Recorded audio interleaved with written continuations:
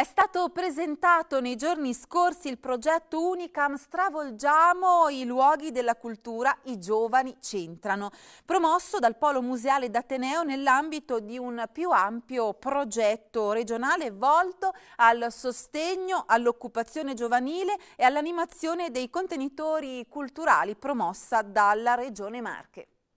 Sì, è come dire ancora una volta, come sapete, a noi sta a cuore il rapporto università-territorio, noi stiamo facendo veramente eh, tantissime in questa direzione, questa è un'altra iniziativa uh, che va oltre, nel senso che eh, l'Università di Camerino ha a cuore naturalmente la formazione dei nostri giovani, ma non li vuole lasciare soli una volta che si sono laureati, quindi tutto il discorso dello stage in azienda e sul sistema produttivo e del placement dopo è estremamente importante. Quello che ci piace particolarmente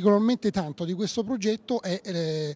l'oggetto, la cultura, cioè la Regione Marche eh, ha stabilito oramai da un po' con, con vari bandi che la cultura può essere il motore dello sviluppo e attorno alla cultura vanno costruite nuove professionalità. Ecco perché siamo anche all'interno dell'università, eh, luogo dove si fa cultura, eh, dove ci si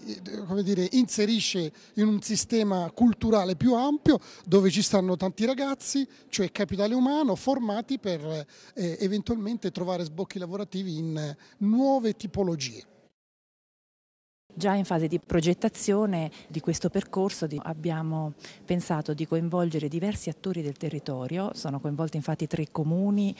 eh, la comunità montana, la Proloco, il sistema museale della provincia di Macerata e poi diverse associazioni culturali del territorio che quindi mh, forniranno dei servizi nell'ambito di questo progetto e soprattutto, dicevo già in fase di progettazione, abbiamo immaginato che fossero i giovani a fare queste proposte ad altri giovani e quindi abbiamo selezionato cinque ragazzi eh, che usufruiscono di una borsa lavoro finanziata dal progetto stesso. Si tratta di valorizzare i contenitori culturali, questo era l'obiettivo e quindi abbiamo anche qui ehm, fatto una selezione perché non era possibile naturalmente prevederli tutti, però eh, immaginato di creare dei, eh, dei, fili, dei percorsi che legassero l'arte, la cultura, la storia di questi territori e naturalmente anche l'ambiente in cui questi territori si trovano, perché è un ambiente ancora spesso molto ben conservato ed incontaminato, eh, facendo perno intorno al capofila quella che è l'Università di Camerino e che è anch'essa una ricchezza diciamo, di questo territorio.